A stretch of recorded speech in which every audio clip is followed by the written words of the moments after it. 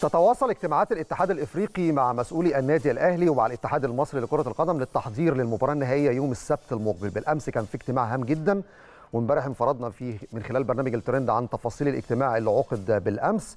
وفي أمور خرجت من هذا الاجتماع ولكن النهارده أيضا كان في اجتماع ظهر اليوم عقده الاتحاد الإفريقي مع مسؤولي النادي الأهلي. مثل الأهلي في هذا الاجتماع المهندس خالد مرتجي أمين صندوق مجلس إدارة النادي الأهلي والكابتن أمير توفيق المدير التنفيذي لشركة الكورة ودكتور سعد شلبي المدير التنفيذي للنادي الأهلي. وأعتقد اجتماعات مثمرة جدا جدا جدا بشأن التحضير للمباراة النهائية.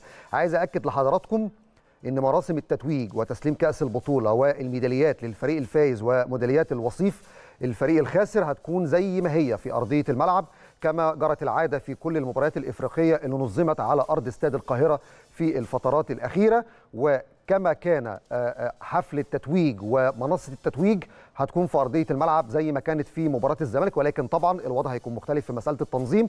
ولكن حفل التتويج وتسليم الكاس والميداليات هيكون في أرضية الملعب زي ما حصل في مباراة الزمالك وزي ما حصل في كل المباريات الإفريقية في الفترات الأخيرة. وعايز أكد كمان على معلومة مهمة جدا لسه واصلة لي حالا من مصادر رسمية في الاتحاد الإفريقي.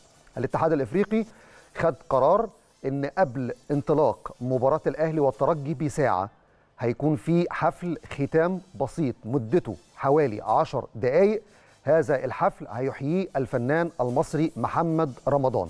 هذا خبر خاص لحضراتكم.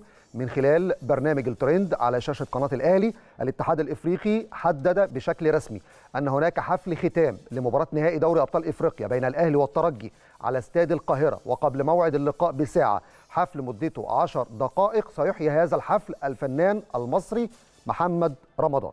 ده خبر خاص لحضراتكم من خلال برنامج الترند.